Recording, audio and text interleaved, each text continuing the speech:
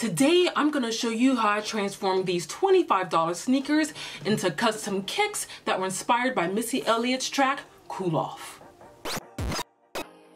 Well, hello everyone, this is Gigi of Puck'n Khaos and welcome to this new video where I'm going to take you behind the scenes of my Missy Elliott Cool Off inspired sneaker custom. But first, yes, I did purchase these very used sneakers for $25 off of the app Mercari. I'm a huge fan of purchasing used sneakers for a quarter or half the price off of Mercari or eBay, my personal hunting grounds, but I'll get into that reasoning in another video another time. Second, I missed out on recording some steps of this custom either accidentally or I didn't think you really needed to see it. So I'm going to put a little scoreboard up above on how many times I said I didn't record this, but I promise to get better with time, folks. Okay, let's jump into the video on how I washed, prepped, and painted this shoe.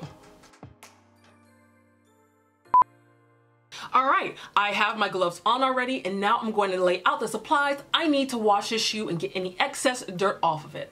So I need a towel, a small bowl of water with laundry detergent, my four scrubbing brushes, and a shoe tree.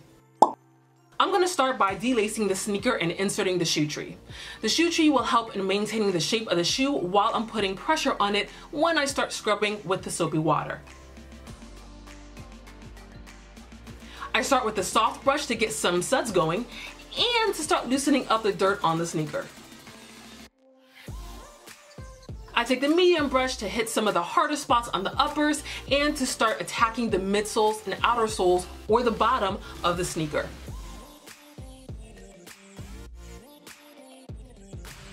With a hard or brass bristle brush, I specifically focus on the midsoles and outer soles of the sneaker to try to drag out that really tough grime. Because this insole is just nasty, I decided to rip it out and toss it to the side.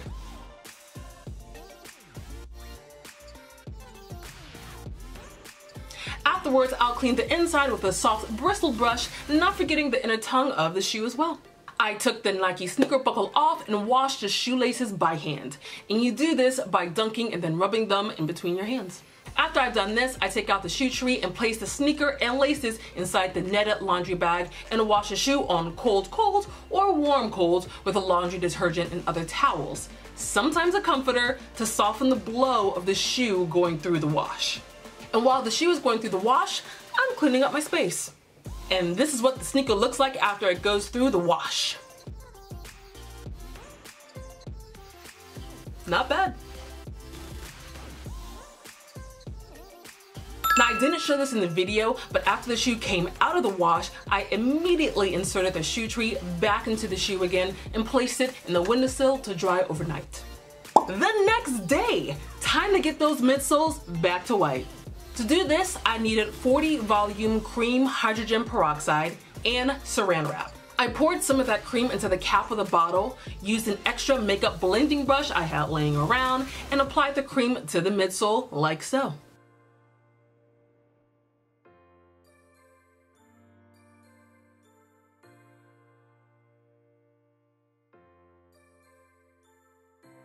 Now there's already a of cracking and separation going on here, so always make sure to keep that cream away from the uppers of the shoe. It can cause this kind of cracking and separation or just make it worse. If you do happen to get some on the uppers, easy fix. Just get a wet rag and use your finger to wipe it off. Simple. Now, take a sleeve of saran wrap and lightly pat it down over the cream like this. I sit it out on my windowsill or sometimes outside for about 45 to 60 minutes so we can get that direct sunlight. After that time frame, I bring it on inside. Take the saran wrap off and wipe off the cream developer with a wet rag.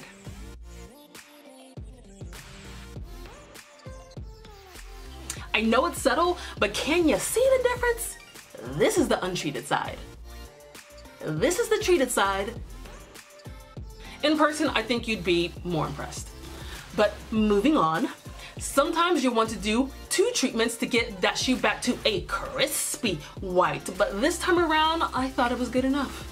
So I continued by flipping the shoe to the other side and did the same treatment. Now I could have done the same treatment to the outer soles or the bottom of the shoe, but I don't know, it's fine, it's good. After that treatment, I thought I'd try this sneaker hack I saw where you use a damp rag and an iron to steam out the creases in a sneaker. You stuff the toe box of the shoe with socks, place the damp rag over that area that needs steaming, and place the hot iron over the rag, producing steam that gets rid of the creasing. Yeah, I didn't see any difference, so I abandoned ship on that idea and moved on with my process. All right, it's time to prep this sneaker. Step one, if you took it out, place the shoe tree back into your shoe. Step two, take 400 to 600 grit sandpaper and 1500 grit sandpaper and start prepping your canvas like this. I usually cut off little squares to do this. After you've done this all over, now it's time to take the factory finish off your shoe. Take a sidebar really quick for a moment. It's a bit shocking I didn't do this, but make sure if you're using this industrial strength acetone that you do it outside with lots of crosswind and or with a protective mask or respirator on. This stuff is potent and kind of dangerous if you inhale it or get it on your skin. So make sure that you have your dishwashing gloves on and that you at least take this stuff outside to remove the factory finish. I take a bit of acetone, putting it on the cotton ball and working each section of the shoe. I usually use two cotton balls per section. Afterwards, put all this away and now it's time to get into the art. I did this off camera, my bad, but I made a rough layout of the side of the shoe using scrap paper. To make that rough layout, I took a scrap piece of paper and made an impression of the sneaker section using my finger. Crude, but effective, and this is what it looks like. Afterwards, I cut the text out using scissors and an X-Acto knife.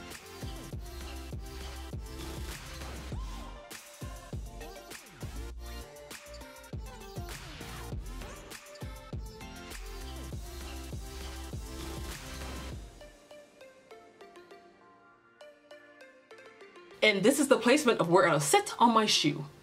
The colors for this project, again inspired by the wardrobe of Missy Elliott's dancers in the video are South Beach Blue, Hot Pink, Light Green, and Orange. In a last minute addition, yellow. I didn't show this, but the first one to two layers of paint I put down on the shoe are always mixed with Createx's Flexible Adhesion Promoter. I mix 7 to 10 drops in with each color of my paint. It's white, but it doesn't lighten the paint, so don't worry about that. And as you can see, I brush it on like normal. This is a superb product I learned from the sneaker artist Wavy Kick Fits that helps prevent cracking or creasing of your paint job. So yeah, it's a staple in my arsenal. And as usual, apply it and then hit it with the blow dryer on the highest setting to help the paint set faster. I mix the flexible adhesion promoter for each base color that I use, one to two coats every time, especially on areas where I think there may be a lot of creasing on the shoe, like the toe box area. Because I love black piping on my sneaker creations, I'm starting to paint the inner corners of the parts that will have black lining now.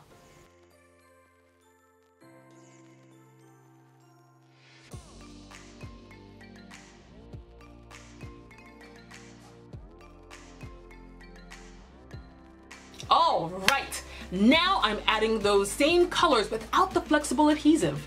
So just the plain Angelus paint to each area to make sure that the coverage is opaque and even. And here I'm adding the rest of the black piping to my sneaker. It's really simple to do. You already have a guideline, just paint down to the seam.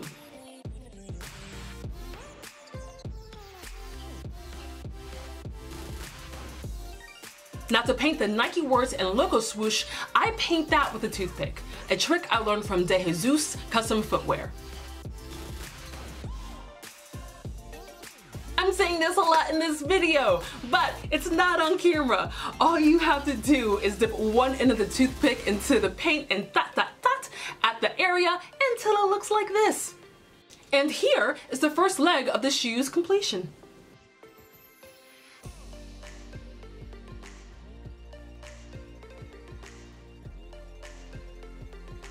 Now, for the serious part of this sneaker custom. I take my text cutout and place it on my sneaker like so. I then take a regular semi-dull pencil and trace out the outline. Lift it up from time to time to make sure that you didn't miss a section.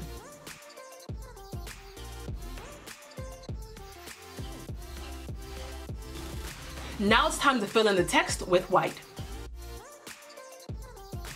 This is how it's looking after one coat. Here's two coats, and this is three coats. Now I take my oil-based Sharpie. Hang on. Oil-based paint marker. Prep the paint marker using an old plastic bubble mailer and start to outline the text.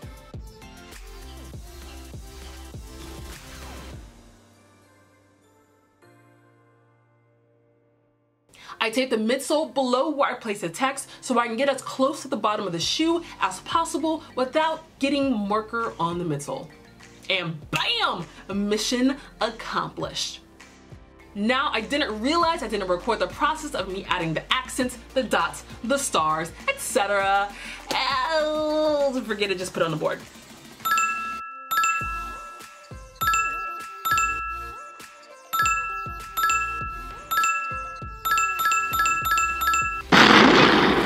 Finish and protect my one-of-a-kind artwork. I'm going to apply Liquid Cakes in Factory Finish with another fluffy blending brush I had laying around. And when I say you need a little bit of this stuff, I dip the tip of my brush in a cup and it covers a healthy section of the shoe. You do not need to be heavy-handed using this stuff. A little goes a very long way. After I brush one light coat on, I let it sit for 10 to 15 minutes and then hit it with a blow dryer. I then do the same thing, again applying a second coat.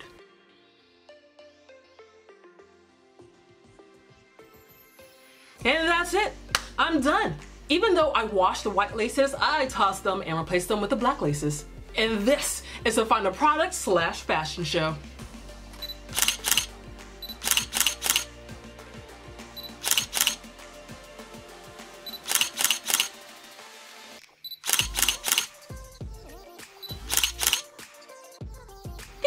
US men's size 10, Euro size 44, a little bit big for my feet, so I'm gonna go ahead and sell this pair on my website. I'll have that link down below, but I wouldn't be surprised if I do this often, as in buy used shoes, clean them up, paint them, and then sell them. It's kind of my jam. I still don't have insoles for these though, so hopefully you'll have some laying around. And that's the end of my video, my good peoples. If you found this tutorial to be entertaining, punch that thumbs up button and I would sincerely appreciate it. And if you think you might want to be notified when I do yet another shoe custom, they're coming down the pipeline, please subscribe. Links are down below if you want to know about any products I used. And if you have any questions, drop them down below. I have such a small following that I can do a little Q&A and I'm down for it. This is Gigi of Puck'n Khaos and I'll see you in the next video.